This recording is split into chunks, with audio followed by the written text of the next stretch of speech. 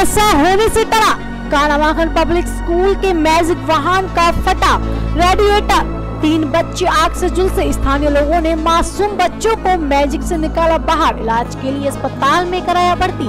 मानकों को ताक पर रखकर हो रहा है। स्कूल वाहनों का संचालन मासूम बच्चों की जान के साथ हो रहा है खिलवाड़। एआरटीओ विभाग की सह पर ज़िले में बड़ी संख्या में मानकों को ताक पर रखकर हो रहा है। स्कूल वाहनों का संचालन सवालों के घेरे में है अब एआरटीओ विभाग।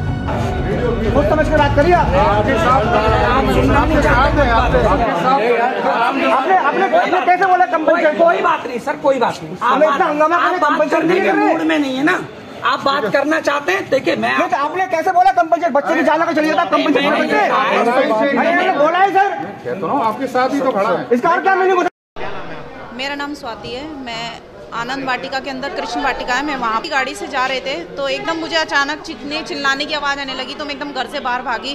तो मैंने देखा ये दोनों बच्चे बाहर खड़े थे ड्राइवर के साथ में तो ये चीख रहे चिल्ला रहे थे। मैंने कहा, बेटा, क्या हो गया? क्या हुआ? इन्होंने कहा, आंटी जी, मुझे बचा लो। मैंने कहा, हुआ क्या? आप बताइए तो सही। जब मैंने देखा ये बच्ची का चेहरा और पूरी बॉडी लाल पड़ती जा रही तो मैंने गाड़ी के अंदर झाँक के देखा। गाड़ी के अंदर पूरा पानी पानी और प्लस जहाँ से वो फटा पाइप, वो पूरा धुआँ दे रहा था।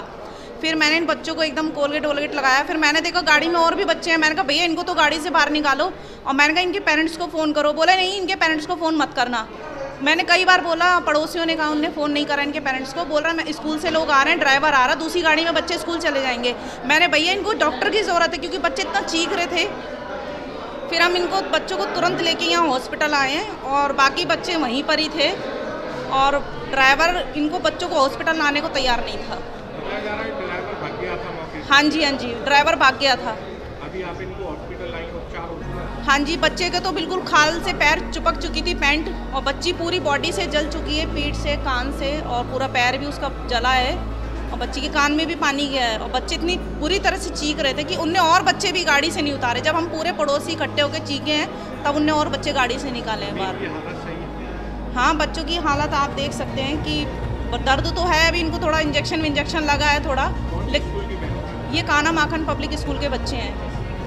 ये माय नाम संजय कुमार यही वृंदावन यही पे रहता यही है अब यही पे हुआ था, सुबह बच्चा चढ़ा था, उसको जो एसी वाला था, वो फट के दोनों बच्चा चल गया। वो दोनों बच्चा जो गाड़ी लग बच्चा चढ़ने वाला था, ड्राइवर तो नहीं उतर गया, उसी टाइम दोनों बच्चा चल गया। बच्चा ने हम लोग हम लोग को सेफ्टी करके रामकृष्ण मिशन में भेज दिया। ड्राइवर तो यहीं से भाग गया, गाड़ी रख के। हाँ गाड़ी चला गया, ड्राइवर रख के। ये शायद मुझे इतना नहीं मालूम है, शायद काना मकम प्लेस काना मकम ये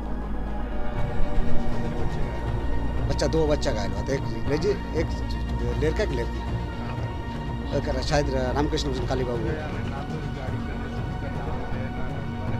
कुछ नहीं इसमें, इसका बीमा भी नहीं, इसका बीमा भी नहीं। और आजकल जो अच्छा ठेली चला रहा है तो उसको बीमा चाहिए, उसको लाइसेंस चाहिए, सब मांग रहा है। लेकिन इसको कैसे करे पचास करोड़ बोले, इसको नहीं मांग रहा है, कागज़।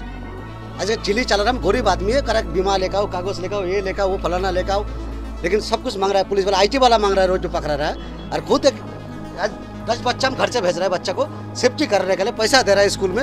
और स्कूल वाला ये काम कर रहा है गलत काम। बिना नंबर वाला गाड़ी भेज रहा है आई टी से बीमा से बच्चा क्या आएगा?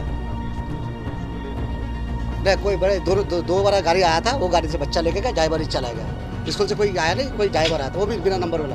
हाँ? पुलिस के शायद सर जी ने फ़ोन किया मुझे इतना नहीं मालूम है। पुलिस को बुलाया नहीं।